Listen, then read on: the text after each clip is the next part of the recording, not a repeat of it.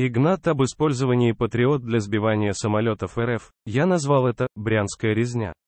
Воздушные силы Украины успешно использовали ЗРК «Патриот» для уничтожения российской авиации в небе над Брянской областью РФ 13 мая 2023 года. Тогда были сбиты самолеты и вертолет, как сообщает РБК Украина, об этом рассказал спикера воздушных сил ВСУ Юрия Игната в интервью на Винарне. В частности, Игнат отреагировал на вопрос о видео, опубликованном в День зенитных ракетных войск воздушных сил в СУ 3 июля. На нем было видно, как наши военные, вероятно, использовали ЗРК «Патриот» для уничтожения российской авиации 13 мая 2023 года, это была блестящая операция под руководством командующего воздушными силами. Благодаря нестандартным решительным действиям подразделения ЗРК «Патриот» за 5 минут уничтожили сразу 5 бортов на Брянском направлении, откуда они тогда бомбили управляемыми авиабомбами наши северные регионы. «Я называю это шутя», — говорит Игнат. Он также отметил, что позже «Патриот» был использован и в Одессе.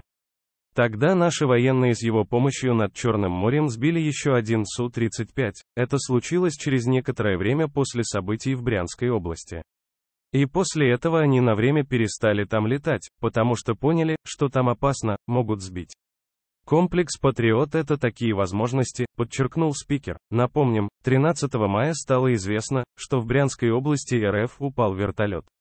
По данным российских СМИ, перед падением вертолет долго кружил над городом Клинцы, а затем свалился на частный дом. Позже кафиры заявили, что в Брянской области упал еще один вертолет.